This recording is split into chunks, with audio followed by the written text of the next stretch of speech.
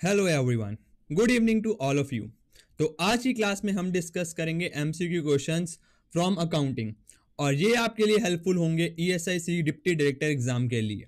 तो myself Harneet Singh so let's begin और अगर आप तैयारी कर रहे हैं ई एस एग्ज़ाम्स की तो जल्दी से जाइए अनुजिंदल डॉट इन पे. वहाँ पे जाके बाय कोर्सेज पे क्लिक करिए. बाय कोर्सेज में ईएसआई पे क्लिक करके जल्दी से जाके कोर्स पे एनरोल कर लीजिए.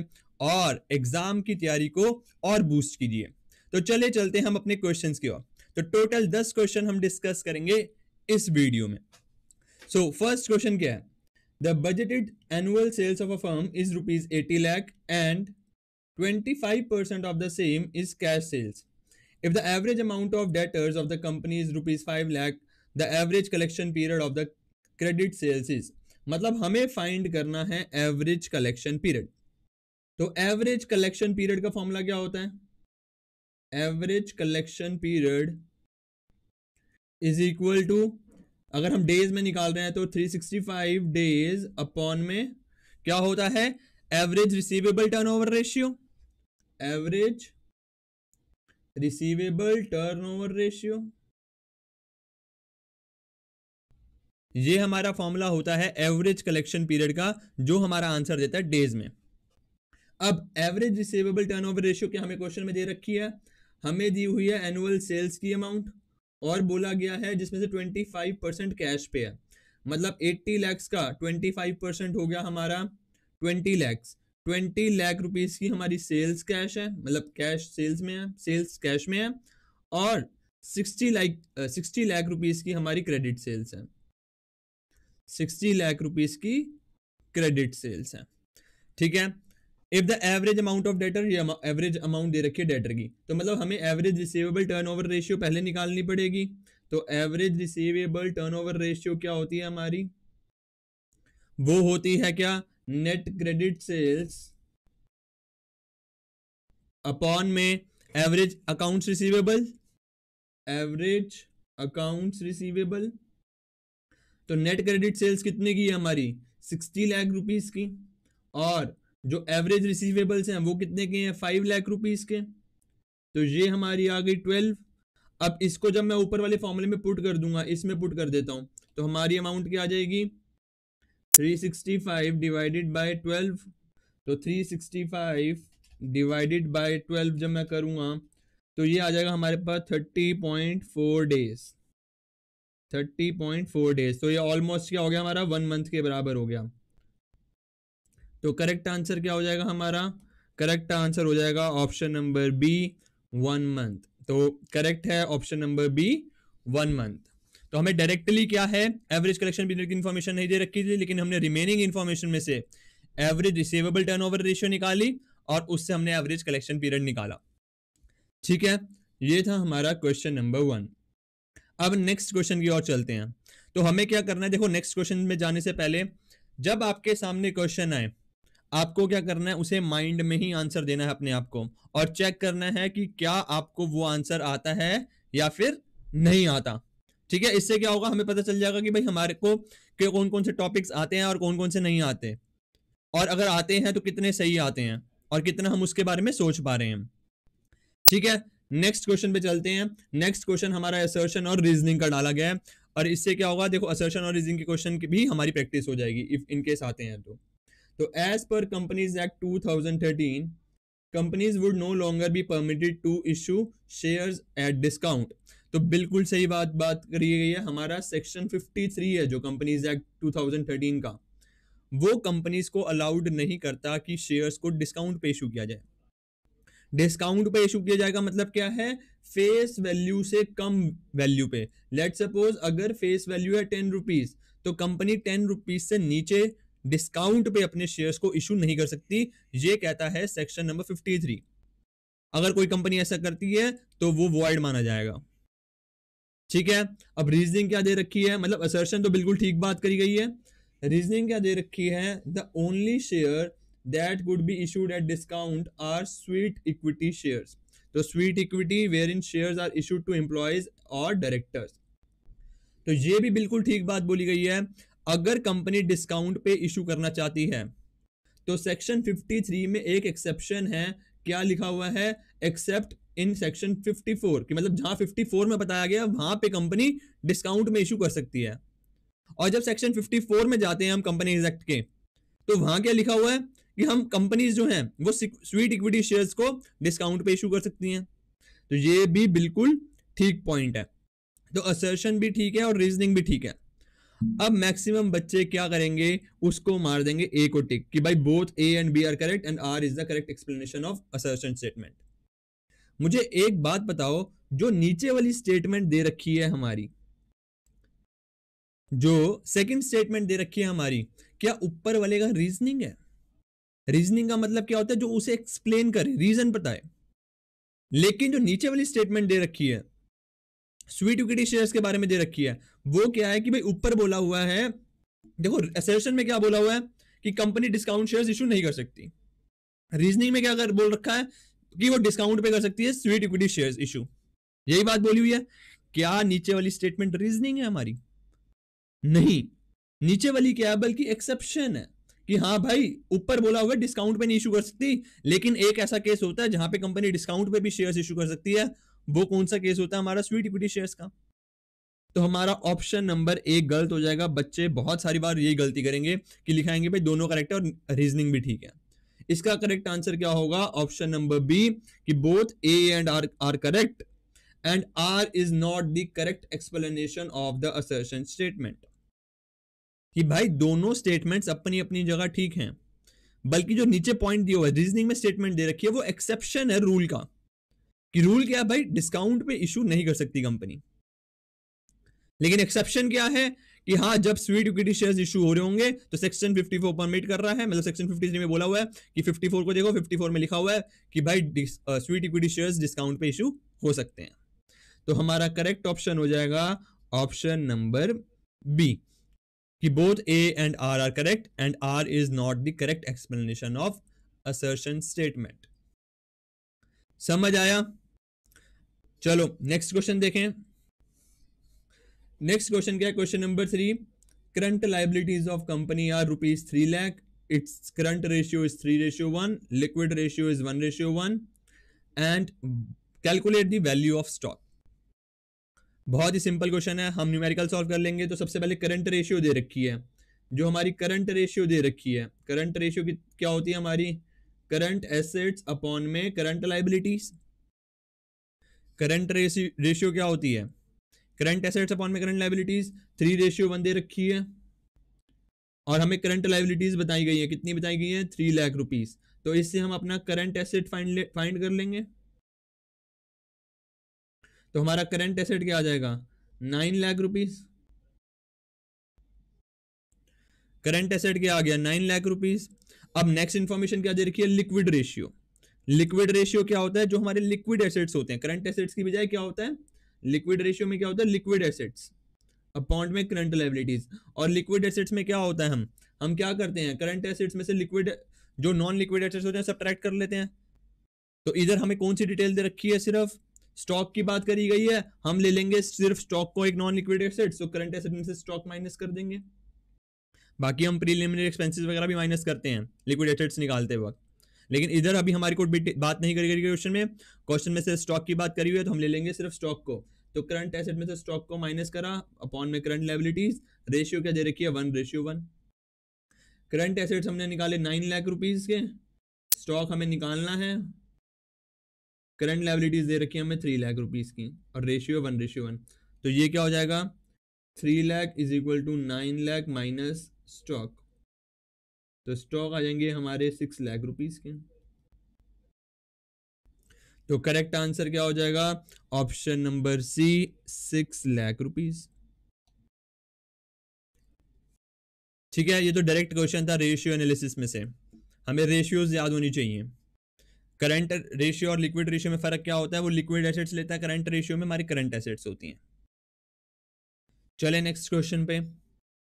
नेक्स्ट क्वेश्चन है हमारा question number fourth in which of the following currencies should a foreign transaction been recorded on initial recognition of the, initial recognition of the transaction? कि जब हमारी इनिशियल रिकॉग्निशन होती है इनिशियल रिकॉग्निशन मतलब जब कोई ट्रांजेक्शन होती है। इनिशियल रिकॉग्निशन का मतलब क्या है? मान लीजिए हमने कोई एसेट खरीदा। इनिशियल रिकॉग्निशन का मतलब मैंने बिल्डिंग खरीदी लेट सपोज़ अब बिल्डिंग को जब मैं पहली बार अपनी बुक्स ऑफ़ अकाउंट्स में रिकॉर्ड करूँगा उसे हम कहते हैं इनिशियल रिकॉग्निशन कि स्टार्टिंग में जब पहली बार रिकॉर्ड करूँगा। अब इधर बात करी गई है कि फॉरेन ट्रांजेक्शन किस करेंसी में रिकॉर्ड होंगी। अब हमारी करेंसीज में जब हम सेक्शन नंबर वो पढ़ते हैं अपना करेंसीज को बात करते हैं अकाउंटिंग स्टैंडर्ड के अकॉर्डिंग तो उसमें तीन करेंसीज की बात होती है हमारी मेजरली कौन कौन सी करेंसी होती है? एक बार इन टाइम तो तीन तरह की करेंसी की बात होती है। कौन कौन सी करेंसी होती है? एक होती है फंक्शनल करेंसी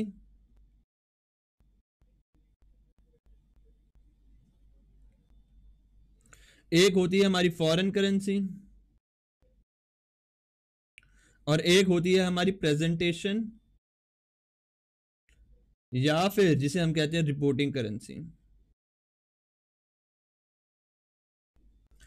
ठीक है, तीन तरह की करेंसीज होती हैं। फंक्शनल करेंसी कौन सी करेंसी होती है? जो मेजरली हमारी जिसमें बिज़नेस डील करता है।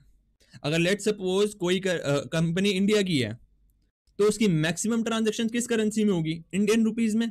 तो वो हो गई उसकी फंक्शनल करेंसी ठीक है? मतलब जो कंपनी की मैक्सिमम ट्रांजेक्शन जिस करेंसी में होती है, वो कंपनी की कहलाती है फंक्शनल करेंसी अगर इंडियन कंपनी की बात कर रहा हूँ तो इंडियन रुपीज़ में खरीदेगी, बेचेगी मैक्सिममली मैक्सिमम की बात कर रहा हूँ मैक्सिमम ट्रांजेक्शन की। तो वो इसके लिए इंडियन रुपी क्या हो गई एक फंक्शनल करेंसी और जो बच गई, वो कहलाएँगी फॉरेन करेंसी फॉरेन करेंसी जैसे डॉलर हो गया यूरो हो गया पाउंड हो गया, ठीक है? ये उसके लिए हो गई foreign currency presenting and reporting currency क्या होता है? वो करेंसी जिसपे कंपनी अपनी बुक्स ऑफ़ अकाउंट्स मेंटेन करती है. जिसपे कंपनी अपनी बुक्स ऑफ़ अकाउंट्स मेंटेन करती है. तो अगर कोई लेट सपोज़ इंडियन कंपनी है, और वो अगर इंडियन स्टॉक एक्सचेंज में रजिस्टर्ड है और वो अपनी बुक्स में रुपीज़ में कैलकुलेट मतलब रुपीज़ में रिकॉर्ड कर रही है ट्रांजेक्शन तो उसकी प्रेजेंटेशन या रिपोर्टिंग करेंसी क्या कहलाएगी? इंडियन रुपीज़ अगर कोई कंपनी मान लो लिस्टेड है कहीं बाहर पे, किसी फॉरेन करेंसी में फॉरेन स्टॉक एक्सचेंज में लिस्टेड है तो उसके लिए भी अगर वो अपने अकाउंट्स प्रिपेयर कर रही है तो उसमें बनेगी लेट सपोज़ अगर नेशनल स्टॉक एक्सचेंज में लिस्टेड है तो डॉलर्स में भी अपने अकाउंट्स क्रिएट करेगी तो उसके लिए रिपोर्टिंग करेंसी या प्रेजेंटेशन करेंसी डॉलर्स हो जाएगी। ठीक है? जब कंपनी रिकॉर्ड करती है फॉरेन ट्रांजेक्शन को तो वो किसमें रिकॉर्ड करेगी? हमारा क्वेश्चन ये है। तो भैया जब वो रिकॉर्ड करेगी, वो रिकॉर्ड करेगी अपनी रिपोर्टिंग करेंसी में। मान लीजिए इंडियन कंपनी है कोई। इंडियन कंपनी उसकी फंक्शनल करेंसी रुपी है फॉरेन मतलब उसकी कुछ ट्रांजेक्शन ऐसी है डॉलर में हो रही है। मान लो, कुछ खरीद लिया, उन्होंने बाय कर लिया फॉरेन करेंसी में डॉलर्स में। तो जब वो रिकॉर्ड करेगी इंडियन की बुक्स में मतलब इंडियन बुक्स में अगर वो मेंटेन कर रही है, अपनी रुपीज़ में मेंटेन कर रही है तो ट्रांजेक्शन को डॉलर से रुपी में कन्वर्ट करेगी। अगर उसने इंडियन गवर्नमेंट को अपनी बुक्स ऑफ़ अकाउंट दिखानी है, जो रुपीज़ में चल रही है तो उस फॉरेन ट्रांजेक्शन को हम डॉलर में नहीं रिकॉर्ड करेंगे। हम किसमें रिकॉर्ड करेंगे? अपनी रिपोर्टिंग करेंसी में, जिसमें हम अपनी बुक्स ऑफ़ अकाउंट्स मेंटेन कर रहे हैं। तो हमारा करेक्ट आंसर क्या हो जाएगा? Option number A reporting currency ठीक है? चलिए नेक्स्ट क्वेश्चन पे। तो नेक्स्ट क्वेश्चन है question number fifth below given are two statements mark the assertion and reasons mark the correct answer तो वही असर्शन रीजनिंग आगे हमें चेक करनी है। असर्शन क्या है? Notes to accounts form a part of a financial statement क्या notes to account हमारे फाइनेंशियल स्टेटमेंट्स के पार्ट होते हैं? बिल्कुल सही बात है। हम बनाते हैं ना बैलेंस शीट उसके नीचे notes to account profit and loss account उसके नीचे नोट्स अकाउंट कौन कौन से हमारे फाइनेंशियल स्टेटमेंट्स होते हैं? Balance sheet profit and loss account notes to account cash flows फिर चेंज इन इक्विटीज है ना? तो ये तो बिल्कुल ठीक है कि नोट्स टू अकाउंट्स हमारा फाइनेंशियल स्टेटमेंट्स का पार्ट होता है। इसका रीजन क्या है? वो बात कर लेते हैं कि वेरियस ट्रांजेक्शन आर एक्सप्लेन और detailed in notes to accounts notes to accounts में क्या शो किया जाता है? फाइनेंशियल स्टेटमेंट में क्या शो किया जाता है? पूरी डिटेल्स दी जाती है। देखो नोट्स टू अकाउंट्स बनाते कब हम? याद हो तो बैलेंस शीट बन रही है, उसके बाद हम लिख रहे होते हैं ना नोट्स टू अकाउंट्स कि भाई अगर ऊपर शेयर कैपिटल लिखा है तो शेयर कैपिटल की पूरी डिटेल्स कहाँ देते हैं हम? नोट्स टू अकाउंट्स में। अगर हम प्रॉफिट एंड लॉस अकाउंट बना रहे हैं, उसमें रेवेन्यू फ्रॉम ऑपरेशन लिखा है। रेवेन्यू फ्रॉम ऑपरेशन की पूरी डिटेल्स कहाँ देते हैं हम नोट्स अकाउंट्स में? तो हमारा असर्शन भी बिल्कुल ठीक है और उसका रीजन भी यही है क्योंकि उसमें क्या डिटेल्स शो होती हैं पूरी पूरी तो हमारा ए भी करेक्ट है और रीजन भी करेक्ट है। तो इसका आंसर क्या हो जाएगा? Option number A both A and R true and R is the correct explanation of A ठीक है? चले नेक्स्ट क्वेश्चन पे। तो नेक्स्ट क्वेश्चन क्या है question number six Saini company limited must pay dividend within a certain period from date of declaration in, ca- in case it doesn't pay the dividend in such time it will have to transfer such unpaid amount to a unpaid dividend account it will also have to interest ha- also have to pay interest for failure to transfer any portion of unpaid dividend to such account where will the company disclose this account in its balance sheet देखो story इतनी लंबी दे रखी है, लेकिन question क्या पूछा गया? बहुत ही इजी क्वेश्चन क्या पूछा गया है? जो हमारा अनपेड डिविडेंड अकाउंट होता है। उन्होंने पूरी स्टोरी बता दी कि भाई वो लंबी है, उसने शेयर्स इशू कर मतलब डिविडेंड डिक्लेयर किया, लेकिन पे नहीं कर पाई तो उन्होंने उस ऐसे लाइबिलिटी ले ली। और उसे लाइबिलिटी को कहाँ शो कर रही है? अनपेड डिविडेंड अकाउंट में रिकॉर्ड कर रही है। हमें बताओ बैलेंस शीट में वो किस के अंडर शो होगा? अगर इन शॉर्ट इस क्वेश्चन को एक लाइन में बोलूँ तो अनपेड डिविडेंड अकाउंट हमारा बैलेंस शीट में कहाँ शो होता है? छोटे से बात है ना, कि अनपेड डिविडेंड अकाउंट हमारा बैलेंस शीट में कहाँ शो होता है? तो कहाँ शो होता है हमारा? देखो unpaid dividend amount long term तो होता नहीं शॉर्ट टर्म पर्पज के लिए होता है। शॉर्ट टर्म पर्पज के लिए होता है ये हमारी क्या होती है? लाइबिलिटी होती है। तो ये कहाँ शो होगी? करंट लाइबिलिटी में। तो करेक्ट ऑप्शन क्या हो जाएगा? Option number D current liability कई बच्चे गलती कर देंगे भाई शेयर कैपिटल में डाल देंगे या शेयर होल्डर्स फंड में डाल देंगे कि भाई डिविडेंड हमारा शेयर होल्डर्स को देना होता है। नहीं, ये करंट लाइबिलिटी होती है जो कंपनी को पे करनी है। ठीक है? इसका करेक्ट आंसर क्या हो जाएगा? Option number D current liability if this video is adding any value to you just go and hit the like button ठीक है? अगर कुछ भी हेल्पफुल लग रहा है मतलब एक भी क्वेश्चन आपको लग रहा है कि आपकी नॉलेज इंक्रीज कर रहा है तो जल्दी से जाके लाइक कर दीजिए और शेयर कर दीजिए अपने दोस्तों के साथ। ठीक है? चले नेक्स्ट क्वेश्चन पे। तो नेक्स्ट क्वेश्चन है question number seven which of the following purpose can the amount in security premium reserve not to be use question क्या कह रहा है? जो हमारा सिक्योरिटी प्रीमियम रिज़र्व अकाउंट होता है, वो कहाँ यूज़ नहीं हो सकता? तीन ऑफ़ चार ऑप्शंस दे रखे हैं। मतलब तीन बोल रखे हैं और तीन डी के हमारा बोथ ए एंड बी तो पहला क्वेश्चन तो मन में आता है कि security premium reserve account use ही कहाँ कहाँ हो सकता है? तो सिक्योरिटी प्रीमियम रिज़र्व हमारा पाँच जगह यूज़ हो सकता है। कौन कौन सी जगह? पहला क्या? जो फुल्ली पेड बोनस शेयर्स वाली जगह। अगर हमें बोनस शेयर्स इशू करने हैं, फिर दूसरी जगह कहाँ? प्रीलिमिनरी एक्सपेंसेस को राइट ऑफ़ करना है।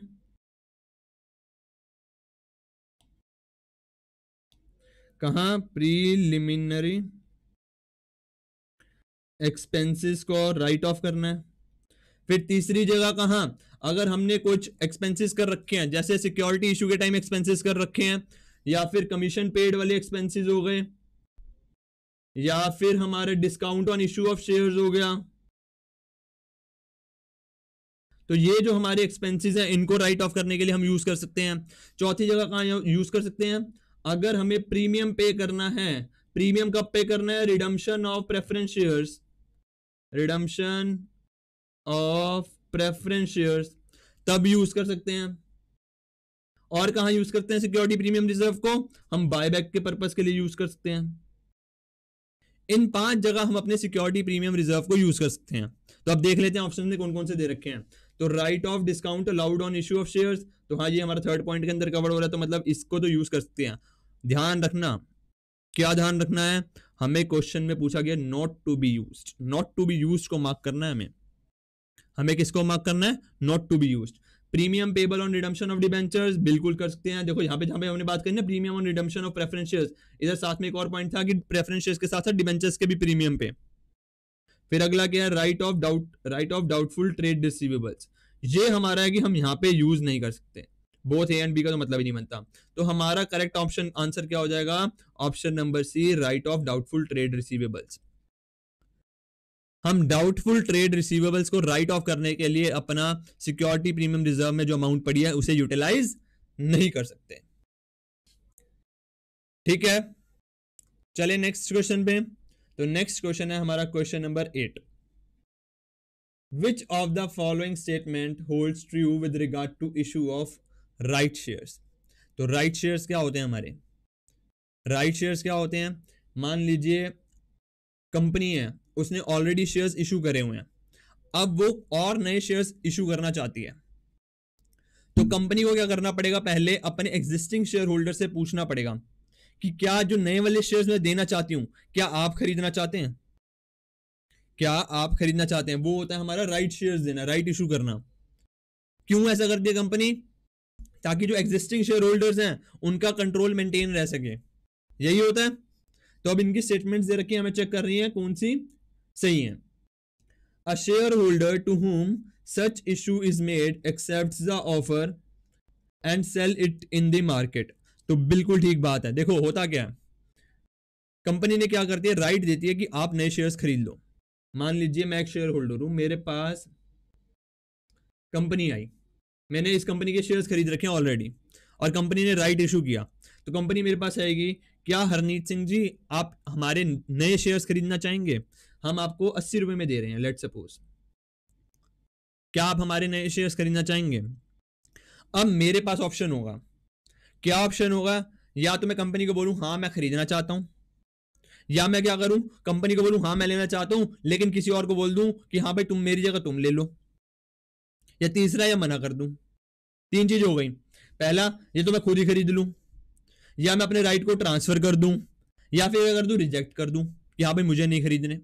तो पहले वाली बात तो बिल्कुल ठीक हो गई कि हाँ मैं खुद लेके किसी और को सेल कर सकता हूँ अपने राइट्स मार्केट में कि हाँ भाई, मेरी जगह तुम खरीद लो इस शेयर्स को।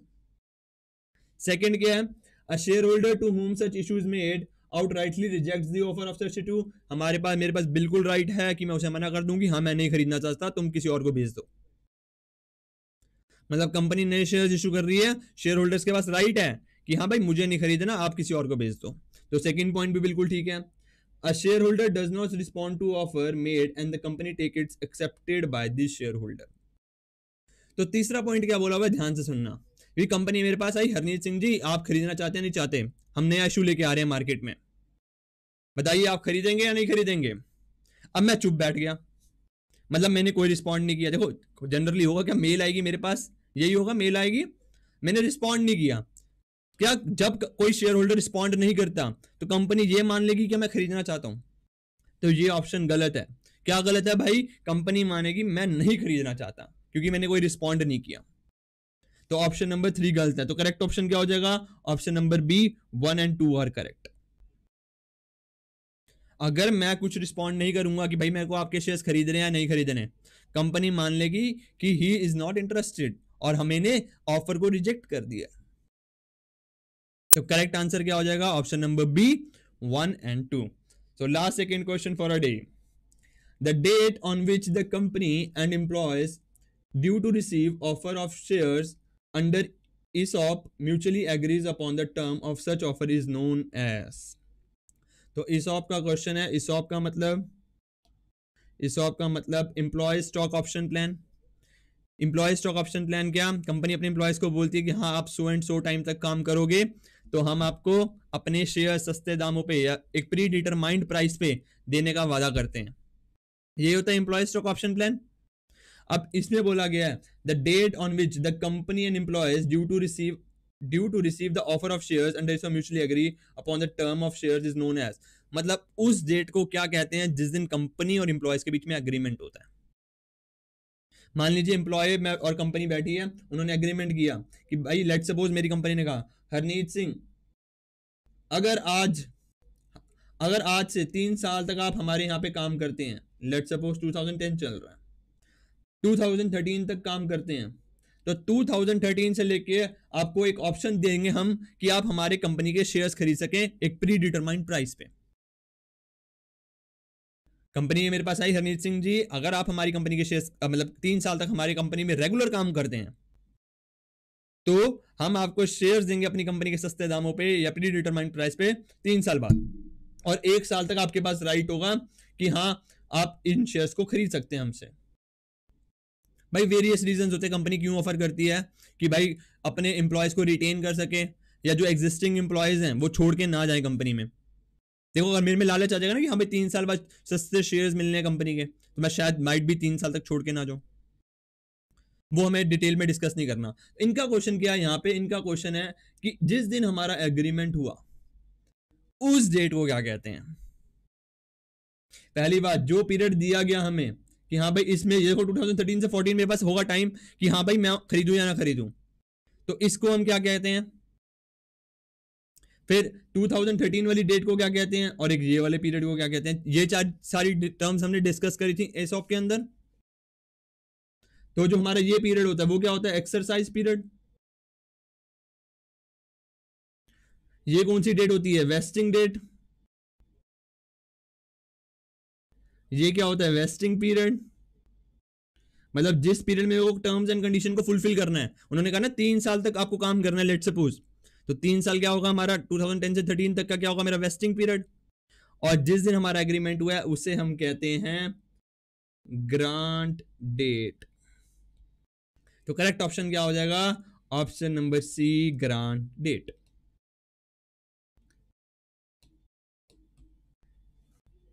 ठीक है? तो एक्सरसाइज पीरियड का भी समझ आ गया वेस्टिंग डेट एग्रीमेंट डेट ये बेकार चीज़ें हमें नहीं करनी। तो हमारा करेक्ट आंसर क्या हो जाएगा? Option number C grant date चलें लास्ट क्वेश्चन की तरफ़ पूरे दिन का आज का। तो आज का लास्ट क्वेश्चन क्या है? Below given are some accounts which are to be classified into personal real and nominal account eleventh class का टॉपिक भाई क्लासिफाई करो personal real and nominal account में। Choose the ones that come under real account और हमें क्या choose करनी है? सिर्फ़ रियल अकाउंट मैं इलेवन ट्वेल्थ में मेरे को बहुत दिक्कत होती थी इन्हें सॉल्व करने में। देखो अब कितना आसान। देखो पर्सनल अकाउंट कौन से अकाउंट होते हैं? जो किसी पर्सन को रिप्रेजेंट करें। जैसे राम अकाउंट हो गया क्रेडिटर हो गया डेबिट डेटर हो गया हमारे। शाम अकाउंट हो गया। फिर टफ लेवल पे ले जाऊँ तो कैपिटल अकाउंट हो गया। क्यों? वो ओनर्स को रिप्रेजेंट करता है। आउटस्टैंडिंग कुछ आउटस्टैंडिंग रेंट हो गया हमारा। आउटस्टैंडिंग रेंट क्या है हमारा एक? पर्सनल अकाउंट है। क्यों पर्सनल अकाउंट है? क्योंकि वो रिप्रेजेंट कर रहा है कि हम मेरे को लैंड लॉर्ड को पैसे देने हैं। रियल अकाउंट क्या होते हैं? वो एसेट्स और लाइबिलिटीज जो रियल में एग्जिस्ट कर रहे हैं, जैसे हमारे लैंड बिल्डिंग वगैरह हो गए। नॉमिनल अकाउंट क्या होगा जैसे सेल्स वगैरह अकाउंट हो गए हमारे। Debit the expenses credit all the profit जो हम डिस्कस करते थे। हमें सिर्फ़ सेलेक्ट करना है इस क्वेश्चन में। हमारा क्वेश्चन आसान है कि रियल अकाउंट कौन कौन से हैं? तो भाई क्रेडिटर नहीं, ये हमारा पर्सनल हो जाता है इंश्योरेंस हमारा नॉमिनल हो जाता है, क्योंकि एक्सपेंस है। गुडविल हमारा एक एसेट है तो ये हमारा रियल अकाउंट है। सेल्स भी हमारा नॉमिनल हो जाता है। स्टॉक हमारा एक एसेट है एसेट हमारा क्या होता है? एक रियल अकाउंट तो हमारे थर्ड और फोर्थ हमारा एक रियल अकाउंट है। तो करेक्ट आंसर क्या हो जाएगा? करेक्ट आंसर हो जाएगा option number C three and five correct answer हो जाएगा option number C three and five ठीक है? बहुत सिंपल सिंपल क्वेश्चन से। ठीक है? आज के लिए इतना ही। Bye bye take care see you soon thank you so much